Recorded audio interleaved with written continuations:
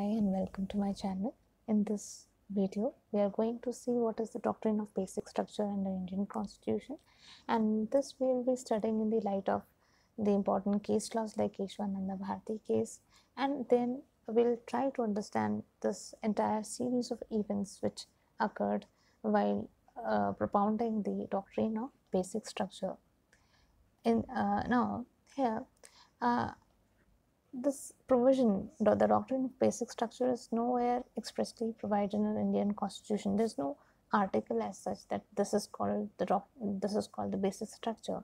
This was basic. This was actually propounded by the judges uh, uh, by the judiciary in the Keshwananda Bharati case, right? So what is it related to? That thing was actually related to the amending, the extent of the amending power of the parliament, that how far the parliament has the power to amend the constitution. And secondly, is this power so much, is this power so unlimited that even Article 13 uh, can be violated? That means even the fundamental rights which are under Part 13, can they be violated? Uh, irrespective of the fact because it has to be amended because amendments are being done by the parliament. So uh, should the fundamental rights be touched by the parliament while amending the constitution? That again that question had to be answered. Thirdly it was also to be questioned that whether fundamental rights forms the part of the basic structure or not We'll be seeing all these things in the light of Article 31, 31A and B, which have now been repealed. They were actually present in the original constitution. Now, before understanding the concept, I would draw your attention on very important articles, that is Article 13 and Article 368. As there was an inherent conflict between Article 13 and Article 368. Now, what is it? Before that, I just wanted to ask you a very simple question if you find any conflict between any legislation and the constitution, what would be your answer that which prevail in our out of these two laws?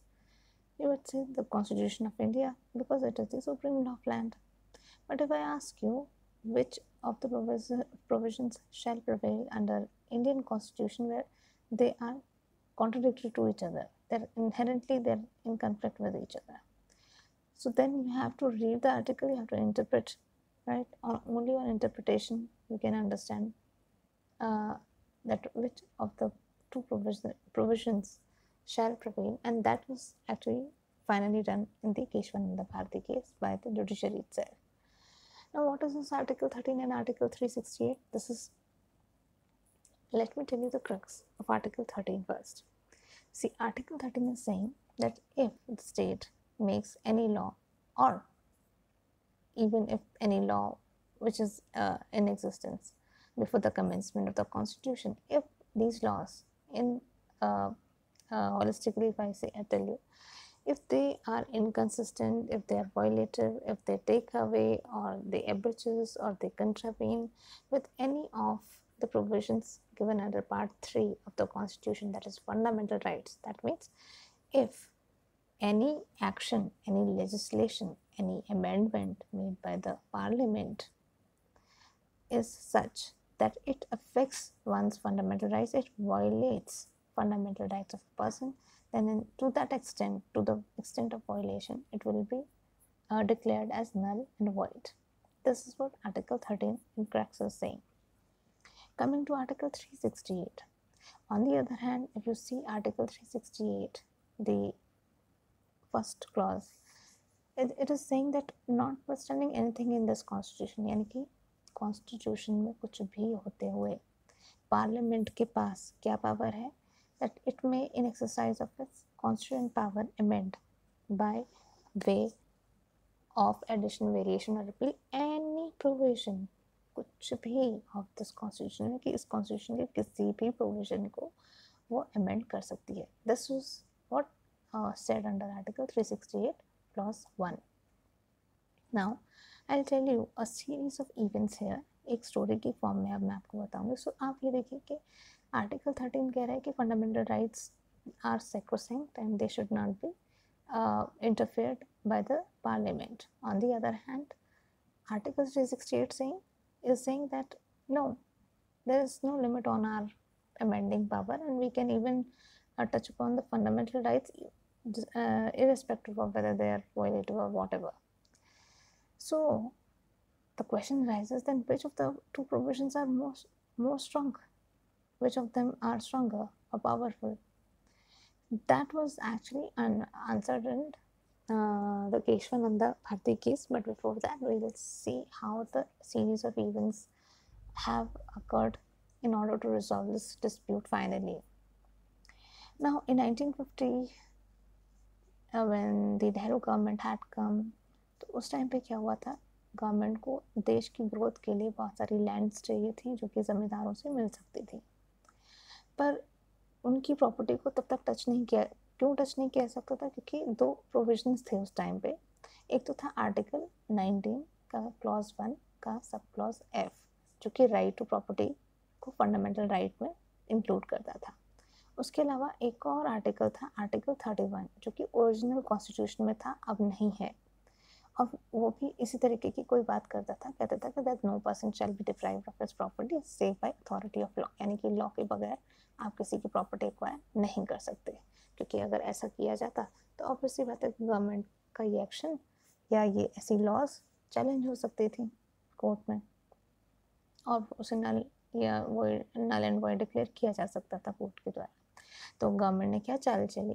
तो government ने क्या किया? उन्होंने कहा कि ऐसा करते हैं, हम फ़र्स्ट कॉन्स्टिट्यूशनल अमेंडमेंट एक्ट लेकर आते हैं राइट जो कि 1951 का है और उसके द्वारा दो आर्टिकल्स और इंसर्ट किए गए। साथ में एक नाइन्थ शेड्यूल भी इंसर्ट किया गया फ़र्स्ट अमेंडमेंट एक्ट से। अब ये क्या थे? Thirty one A and thirty one B तो ये जो थर्टी वन ए है ना, ये क्या कह रहा था कि देखिए, ऐसा है कि आपकी जो लैंड है, ज़मींदारों, आपकी जो लैंड है या कोई भी व्यक्ति जिसके पास लैंड है, आपकी लैंड को हम एक्वायर कर सकते हैं।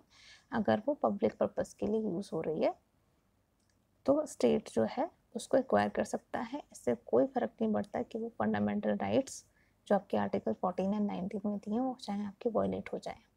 ये आर्टिकल थर्टी वन ए कह रहा था और आर्टिकल थर्टी वन बी क्या कह रहा था?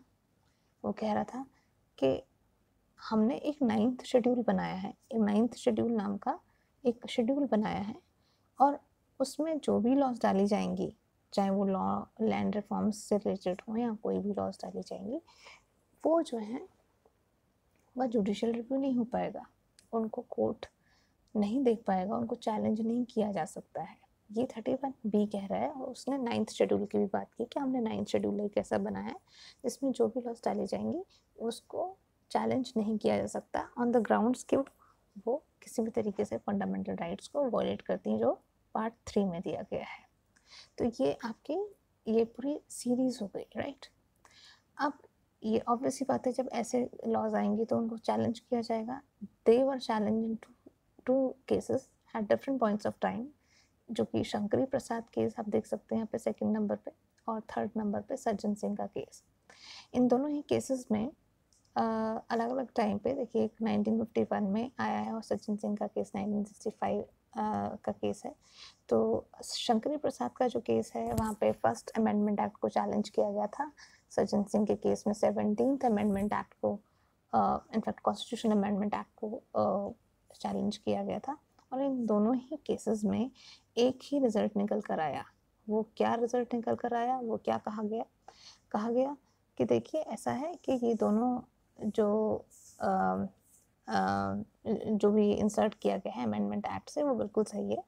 और बिल्कुल आर्टिकल 368 में वाकई में अनलिमिटेड पावर्स हैं पार्लियामेंट के पास क्योंकि उसमें तो ये वर्ड यूज़ यूज़ किए गए हैं that the parliament can amend any provision of the constitution तो इसी वजह से हम ये कह रहे हैं कि चाहे वॉयलेशन हो भी फंडामेंटल राइट्स का अंडर आर्टिकल थर्टीन उसको परमिट किया जाएगा और फंडामेंटल राइट्स को लिया भी जा सकता है इन अमेंडिंग पावर से। ये शंकरी प्रसाद के केस में, साथ में सज्जन सिंह के केस में भी दोनों में ऑलमोस्ट एक जैसा डिसीज़न बोला गया। अगेन ये प्रॉब्लमेटिक था लोगों के लिए। तो गोलकनाथ का केस आया और वहाँ पे फ़र्स्ट फोर्थ सेवनटीन और भी बहुत सारे जो कॉन्स्टिट्यूशनल अमेंडमेंट एक्ट्स थे, उनको चैलेंज किया गया। गोलकनाथ के केस में जो सज्जन, जो शंकरी प्रसाद केस था, सज्जन सिंह का केस था, दोनों को रूल कर दिया गया। क्या मतलब है इसका? इसके ओवर रूल करने का मतलब ये है कि आर्टिकल थर्टीन में ज़्यादा पावर है आर्टिकल थ्री सिक्सटी एट से के कंपैरिजन में। यानी कि parliament can not take away the fundamental rights क्यों? क्योंकि जो दैट विल बी या वायलेट नहीं कर सकता फंडामेंटल राइट्स को 368 को अप्लाई करके।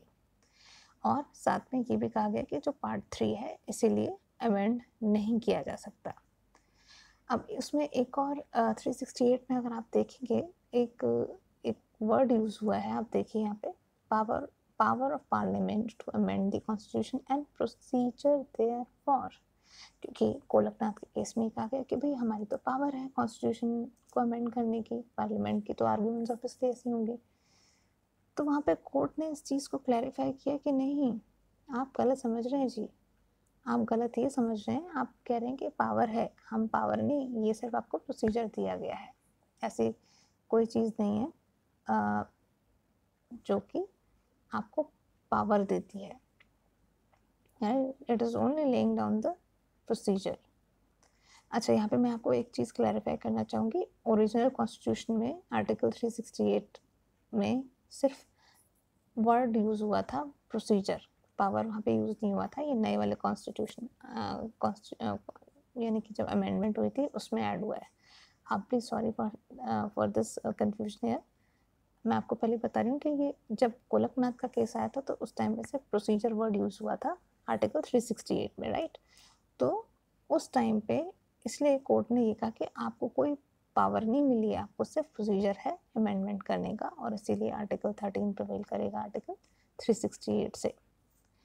अब क्या हुआ नेक्स्ट सीरीज़ ऑफ़ फैक्ट्स में? इंदिरा गांधी की जब गवर्नमेंट आई इंदिरा गांधी 1965 में प्रधानमंत्री बन चुकी थी देश की। तो जब वे आई तो 1971 का twenty fourth constitutional amendment act लेकर आई अपने साथ में। और उसकी वजह से ट्वेंटी फोर्थ जो कॉन्स्टिट्यूशनल अमेंडमेंट एक्ट था, उन्होंने क्या किया? ये देखिए।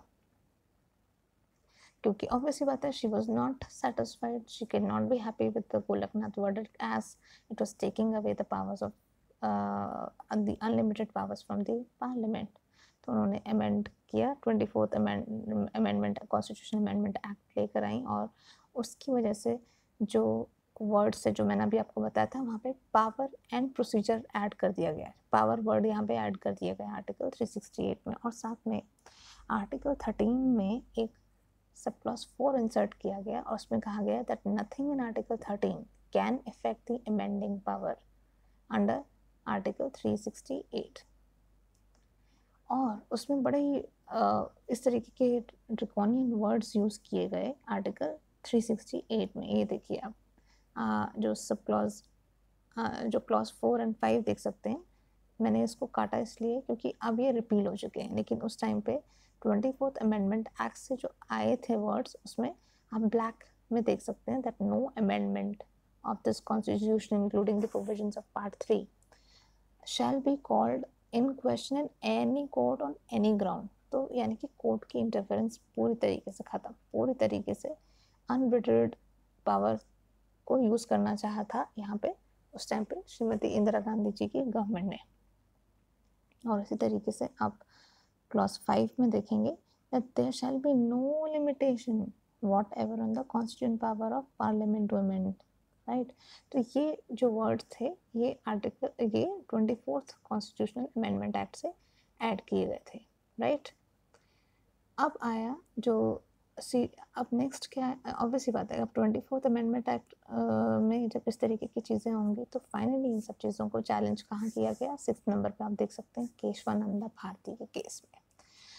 अब केशवानंदा भारती के केस में जब ये सब चीज़ें चैलेंज की गई तो लेट्स सी कि केशवानंदा भारती में क्या चीज़ें थी। वहाँ पर इस चीज़ को जब चैलेंज किया गया कि ट्वेंटी फोर्थ अमेंडमेंट एक्ट और पीछे की भी चीज़ें तो यहाँ पे यही कहा गया कि देखिए, ऐसा है कि जो हमारा कॉन्स्टिट्यूशन है, वो कुछ ऐसी चीज़ है जहाँ पे जो फ्रेम वर्कर्स थे, उनके दिमाग में कोई विजन था फ्यूचर विजन था। और अगर उस विजन को देखा जाए या आप उसको एक आइडिया समझ सकते हैं या फाउंडेशन समझ सकते हैं, या फैब्रिक तो ये वो ऐसा फैब्रिक है जिसको चेंज नहीं किया जा सकता। फॉर एग्ज़ाम्पल अब उन्होंने वहाँ पे एक नॉन एक्सॉस्टिव लिस्ट के द्वारा इलस्ट्रेशन के थ्रू इस चीज़ को एक्सप्लेन किया कि बेसिक स्ट्रक्चर में क्या क्या चीज़ें आ सकती हैं। फॉर एग्ज़ाम्पल डेमोक्रेसी डेमोक्रेसी अगर कॉन्स्टिट्यूशन हमारा डेमोक्रेटिक नहीं होता है, उसके अगर, उसकी जगह अगर वो डिक्टेटरशिप है या कुछ और है राइट तो वहाँ पर क्या होगा? तो वो इंडियन कॉन्स्टिट्यूशन इंडियन कॉन्स्टिट्यूशन नहीं रहेगा राइट वो आत्मा है उसकी it is the soul you can not change the nature of the soul you change whatever you want you, you can amend whatever you want to amend you amend everything. पर आपको amend ऐसे करना है कि उसके basic structure पर effect ना पड़े राइट right? तो ये बेसिक स्ट्रक्चर क्या है? ये वही है. ये अगेन uh, मैं आपको एक दूसरा एग्जांपल दे सकती हूँ जैसे कि independence of judiciary judiciary independent नहीं होगी तो उस केस में अगेन कॉन्स्टिट्यूशन का स्ट्रक्चर वो नहीं रहेगा। सेक्युलरिज्म राइट हम ये नहीं कहते that India Indian constitution is a Muslim Indian constitution और हिंदू कॉन्स्टिट्यूशन राइट हम ऐसा कुछ नहीं बोलते। सेक्युलर सर्व धर्म संपन्न, ठीक है? संभव, सर्व, धर्म संभव संभव। जैसे हम कहते हैं हिंदी में। हमने उस तरीके की फ़िलासफ़ी को अडॉप्ट किया है और इस फ़िलासफ़ी को चेंज नहीं किया जा सकता चाहे कितना भी अमेंडमेंट की पावर्स आप यूज़ कर लें पार्लियामेंट सो बेसिक चीज़ें आप ज़रूर यहाँ पे ध्यान रखिएगा। ये तो हो गया doctrine of basic structure right यहाँ पर थर्टीन uh, जजेस uh, की कॉन्स्टिट्यूशनल बेंच uh, गठित की गई थी। जहाँ पे सेवन इज़ टू सिक्स का वर्डिक्ट आया था, जहाँ पे जो उनके हेड थे उस टाइम पे जस्टिस सीकरी थे और नानी पालकी वाला वॉज़ दी एडवोकेट जो कि आगे वाले केसेस इनफैक्ट उन्होंने गोलकनाथ के केस में भी आर्ग्यू किया था और आगे के केसेस भी हम डिस्कस करेंगे। वहाँ पे भी बहुत बढ़िया आर्ग्यूमेंट्स किए थे और he was he is called the hero of of this thing of the doctor of basic structure क्योंकि यही एक व्यक्ति थे जिनकी आर्ग्यूमेंट्स की वजह से हमारा जो कॉन्स्टिट्यूशन है, वो इस उसने या हमारे कॉन्स्टिट्यूशन की जो डेमोक्रेसी है, उसको बचाया है। क्यों? क्योंकि अगर पार्लियामेंट की अनलिमिटेड राइट अगर पावर होती तो उस केस में होता क्या? वो डेमोक्रेसी को अफेक्ट करता। और डेमोक्रेसी जो होती है, वो चेक्स एंड बैलेंसेस के ऊपर बेस्ड होती है। उस, उसके ऊपर चलती है। अगर डेमोक्रेसी नहीं हो तो कॉन्स्टिट्यूशन ख़त्म बेसिक स्ट्रक्चर ख़त्म, सब कुछ ख़त्म। तो इसीलिए केशवानंदा भारती के केस को ये भी कहा जाता था this is the case saved the democracy इसलिए ये बहुत ही सिग्निफिकेंट केस है, केशवानंदा भारती का केस लेकिन अगेन इंदिरा गांधी जी जो थी, वो यहाँ पे भी नहीं रुकी, क्योंकि उनको इस बात से बिल्कुल भी खुशी नहीं मिली कि हमारी पार्लियामेंट की पावर्स को वापस से दबा दिया गया है। तो वो जब इमरजेंसी आई 1975 में तो उन्होंने क्या किया? Forty second amendment constitutional amendment act 1976 का लेकर आई और उसके द्वारा उन्होंने दो आर्टिकल्स और इंसर्ट कर दिए, जो आर्टिकल 368 में मैंने आपको अभी clause sub clause four and sub clause five यहाँ पर भी दिखाए थे। राइट? ये जो फोर्टी सेकेंड अमेंडमेंट एक्ट से आए थे, इनको इन्होंने ऐड कर दिए फोर्टी सेकेंड अमेंडमेंट एक्ट से। और उस वजह से क्या हुआ? अगेन इन सारी चीज़ों को मिनरवा मिल्स के केस में चैलेंज किया गया। कौन से केस में? Minerva Mills. मिनरवा मिल्स के केस में फाइनली कोर्ट ने ये हेल्ड किया कि देखिए, पहली चीज़ तो ये कि आपकी जो clauses three sixty eight article three sixty eight के क्लॉज फोर एंड फाइव हैं. They are violative of the basic structure basic structure of constitution यानी कि जैसे judicial review judicial review was also held to be the basic structure तो ये कहा गया कि जब जितने भी लॉज हैं they are subjected to judicial review you and you can not take away this the power of judicial review from the judiciary और इसके ऊपर कंट्रोल जुडिशरी रखेगी बेशक लेकिन एज अ पार्लियामेंट आप ऐसा नहीं कर सकते क्योंकि जुडिशल रिव्यू केशवानंदा भारती के केस में ऑलरेडी ये हेल्ड हो गया है कि जुडिशल रिव्यू बेसिक स्ट्रक्चर का पार्ट है। और इसीलिए केशवानंदा भारती केस को हम आ, अगर क्वेश्चन आ जाता ऐसा कोई क्वेश्चन आता है पीटी में आपको कि ऐसा कौन सा केस है जिसमें doctrine of basic structure propound की गई थी बर्थ या ओरिजिन हुआ था तो आप कहेंगे केशवानंदा भारती केस। लेकिन अगर केस पूछा जाता है which evolve this basic structure doctrine तो वो केस है मिनरवा मिल्स का केस। आई होप आपको मिनरवा मिल्स का केस याद रहेगा, Minerva Mills limited versus Union of India अब इसके बाद उस सीरीज़ में आप देखिए नेक्स्ट आया आई आर कोलू का केस। ये केस क्यों इम्पोर्टेंट है? क्योंकि अभी तक हमने देखा कि article thirty one A, thirty one B, ये सब रिपील हो गए। आर्टिकल थ्री सिक्सटी एट का फोर, फाइव सब रिपील हो गए। लेकिन एक समस्या भी बची हुई थी, वो था नाइन्थ शेड्यूल, जो कि मैंने आपको बताया था कि कॉन्स्टिट्यूशनल अमेंडमेंट एक्ट जो फ़र्स्ट अमेंडमेंट एक्ट थी 1951 की, उसमें नाइन्थ शेड्यूल भी ऐड किया गया था। तो इस केस में यही कहा गया कि ये जो नाइन्थ शेड्यूल है, इसका क्या किया जाएगा? Right right? तो इसमें इस आई आर कोहलू के केस में ये हेल्प किया गया कि कोई भी लॉ जो नाइन्थ शेड्यूल में twenty fourth April nineteen seventy three के बाद आई है यानी कि ये वो टाइम वो ये वो दिन है जिस दिन केशव नंदा भारती का केस डिसाइड हुआ था। तो उस दिन से लेकर 2007 जब I R O I R कोलू का केस आ, है राइट उस टाइम तक के बीच में अभी तक और आगे भी जाकर कोई भी लॉ अगर नाइन्थ शेड्यूल में डाली जाएगी। तो अगर वो, चाहे वो फंडामेंटल राइट्स के रिस्पेक्ट में वायलेटिव है या नहीं है that will be subjected to judicial review and is no more immune from this judicial review and also it was held that it is having retrospective application and this is actually called the retrospective application of constitutional law क्योंकि हम date back नहीं कर रहे हैं। हम sorry uh, हम twenty fourth April 1973 से पहले की लॉज के बारे में हम बात नहीं कर रहे हैं। अभी तक आपने उससे पहले जो भी लॉज नाइन शेड्यूल में डाल दी उनका जुडिशल रिव्यू नहीं हो सकता। लेकिन जिस दिन जुडिशल रिव्यू को बेसिक स्ट्रक्चर माना गया था डॉक्ट्रिन ऑफ़ बेसिक स्ट्रक्चर माना गया था उस दिन से ये मान के चला जाएगा कि जो भी लॉज नाइन्थ शेड्यूल में डाली गई हैं, वो जुडिशली रिव्यू हो सकती हैं चैलेंज की जा सकती हैं और नल एंड वॉइड भी डिक्लेयर की जा सकती हैं irrespective of the fact whether they touch upon the fundamental rights or not इसी तरीके से इंदिरा नेहरू, गांधी वर्सेस राज नारायण का भी 1975 में एक केस आया था जहाँ पे थर्टी नाइन्थ अमेंडमेंट एक्ट को चैलेंज किया गया था और जहाँ पे ये हेल्ड किया गया था कि free and fair election they form the essential postulate of democracy देखिए यहाँ पे फिर एक और नया उसी डॉक्ट्रिन में एक और नया पॉइंट ऐड हो गया कि फ्री एंड फेयर इलेक्शंस भी डॉक्ट्रिन ऑफ़ बेसिक स्ट्रक्चर का पार्ट हैं। So that's all for today I hope you understand could understand this video and uh, kindly give me your fair feedbacks. I would be more than happy if uh, you can give me those feedbacks. Thank you very much